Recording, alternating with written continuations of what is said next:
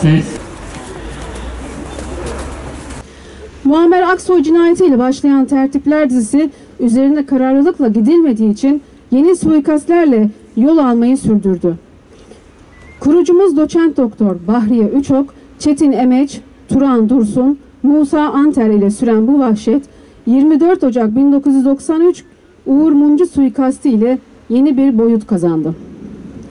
Mumcunun katli ülkemizi derinden sarstı. Devletin bütün kademeleri bu cinayetin faillerini ve azmettiricilerini bulmaya söz vermesine rağmen atılan her adım kimi ellerce engellendi. Adeta herkes bu cinayetin çözülmemesi için elinden geleni yaptı. Bölücü terör örgütü PKK silah ve uyuşturucu kaçakçıları, Abdi İpekçi'yi öldürüp Papa'yı vurduranlar, kamu ihale vurguncuları, Ermeni terörüne kurban giden elçilerimize, zırhlı görünümlü tekne, tenekeden araba satanlar, laiklik ve Kemalizmin karşıtları, imamların maaşlarını ödeyen aramcocular, 12 Eylül faşizmin kucağında hayat bulan teokratik devlet özlemcileri. Uğur Mumcu'dan sonra da devam etti siyasi cinayetler. Eşref Bitlis, Atatürkçü Düşünce Derneği Genel Başkan Yardımcımız, Yardımcımız Ahmet Taner Kışlalı, Necip Hablemitoğlu ve yine bir 24 Ocak günü Diyarbakır halkın sevgilisi vatansever Emniyet Müdürü Ali Gaffar Okan aynı karanlık güçlerce benzer şekilde katledildiler.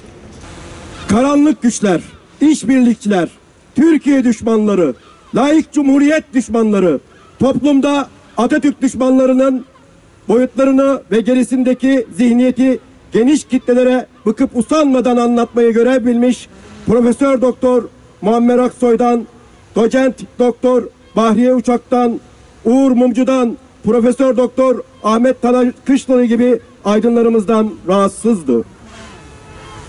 Bu Atatürk düşmanları aydınlarımızı devletin ve toplumun gözü önünde alçakça suikastlerle katletmekten geri durmadılar.